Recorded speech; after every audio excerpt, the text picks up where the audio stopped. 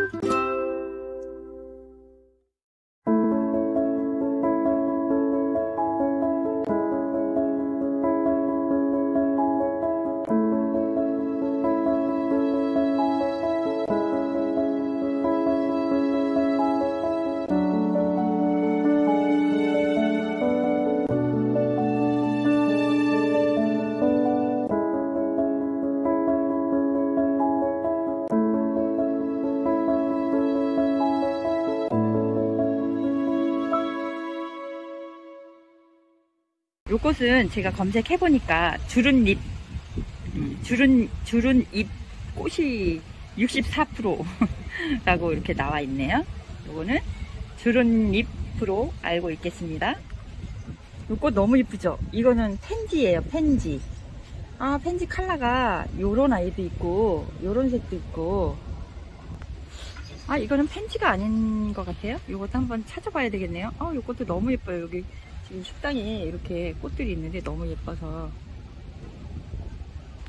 요거는 밀집꽃이라고 하네요. 밀집꽃으로 나왔어요. 네, 색깔이, 아, 정말 너무 예뻐서 제가 이렇게 또 찍어봤어요. 밀집꽃.